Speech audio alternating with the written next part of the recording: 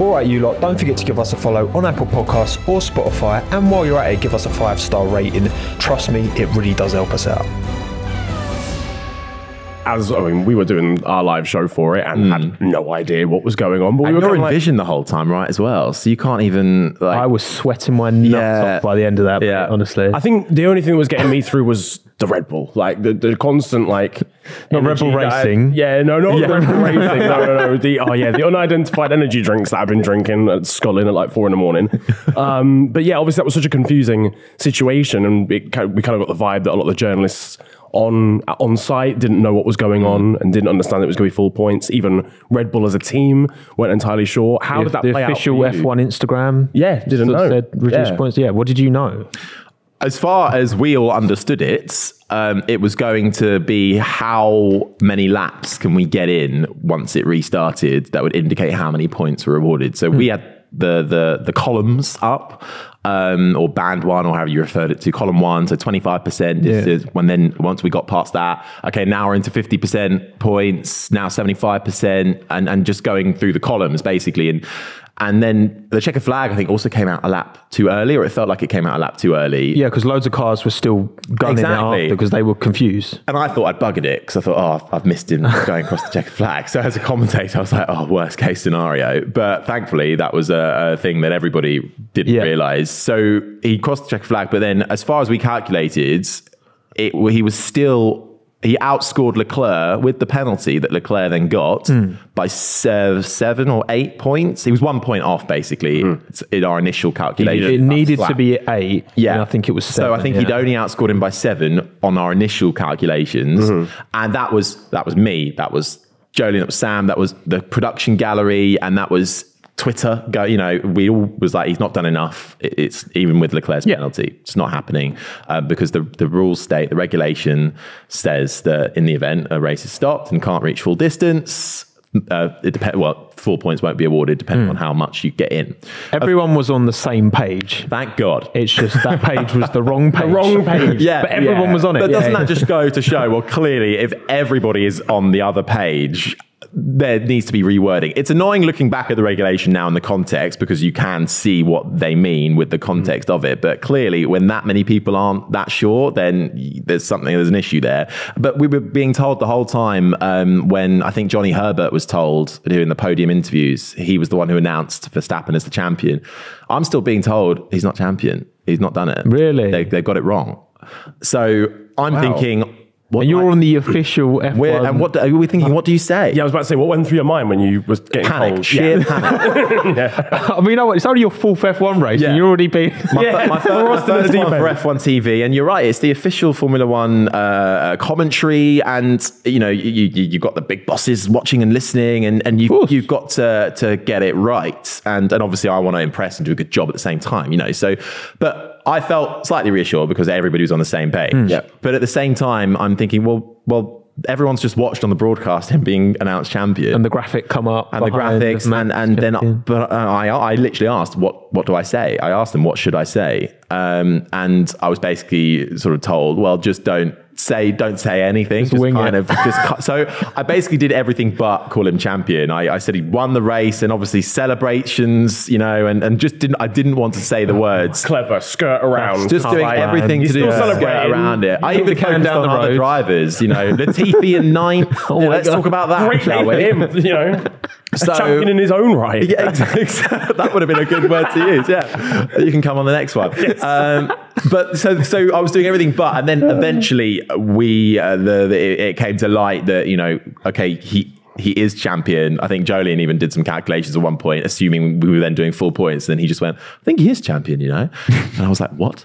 Um, so luckily, though, I then I then you know listened to Croft what Crofty was doing the Monday after and Jake's and, and Jack Nicholls and Yeah. everybody was on the same page. Yeah, I was yeah. like, thank God for that. But sheer panic at the time because you plan for various scenarios. Like, I, I normally plan, you know, all right, if Verstappen wins, what does this mean? Or Leclerc wins or Perez, so what's going to happen? Yeah. What what should I roughly be saying? What's a good soundbite to say at the end of the race? You know, that did not see that one coming. And I feel every race I've done this year as well has been annoying and difficult. I've never had a nice smooth race. Which other Grand Prix have you done, by the way? but the Australian Grand Prix, Australian Grand Prix was probably the, actually the most simple one. Um, but that was my first ever Formula One Grand Prix. So that was for the, the BBC uh, radio.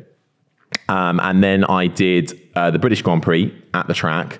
And of course, that was the huge red flag for Zhou Guanyu, who crashed into turn one. So suddenly you're on air, f- you know, you're still on air and um, you're on radio. So no one is looking at any pictures either. So you, you're, you're having to be a lot more descriptive on the radio as well. And, And, equally, such a huge accident. yeah, as well, difficult so- when you don't know the, the condition of the driver. Exactly, So and there are certain- the crash, and it's a little bit. And there are certain guidelines, especially when you're on a broadcaster like the BBC, that you've got to abide by as well. You can't just assume things and you've got to, to follow the regulations. And, and we were being fed information the same as everybody else. But also at the same time, when you're on Five Live, um, uh, and stuff like that happens. You, I also had to at some point. I'd be mid race or whatever when we restarted, and you'd have to. You'd be told, "All right, we've got to go to Jessica, who's at Wimbledon, um, to give an update of thirty seconds." So suddenly you'd be in the middle of a battle, and Hamilton goes through on both of them in the final corner, and uh, it's lap forty-seven, uh, and Jessica's at Wimbledon on centre court, and then you just have to wait thirty seconds while while they would do their thing, and you'd be like, "Right, let's just hope nothing happens for the next thirty seconds," and then. But that's part of the the Five Lives offering, obviously, because they're a huge sport Yeah. network in the UK, so you've got to do that.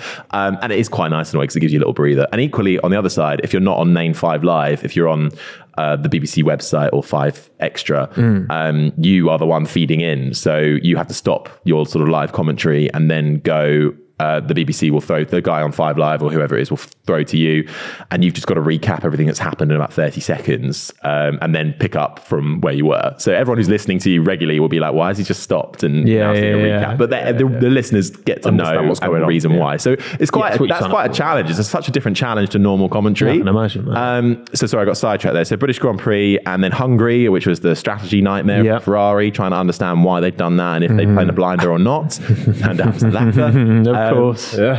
and then uh, and then I did um, and then uh, Japan. So, uh, but equally, I was doing the form, stuff like the Formula Three finale as well to come a few weeks before that, and that was a nightmare as well. Yeah. that had been just that was decided in the pit lane Mm. after a red flag, and there was a point between it. about something like 14 people that could win the championship. Well, as exactly. Well, and then there were penalties and time penalties applied, and you were like, "Well, how does that work? Are they going back to how many laps are they going back to when they were on the track?" That was with or- Victor Martin. Victor Martins, When he yeah. won, so he won the title in Yeah.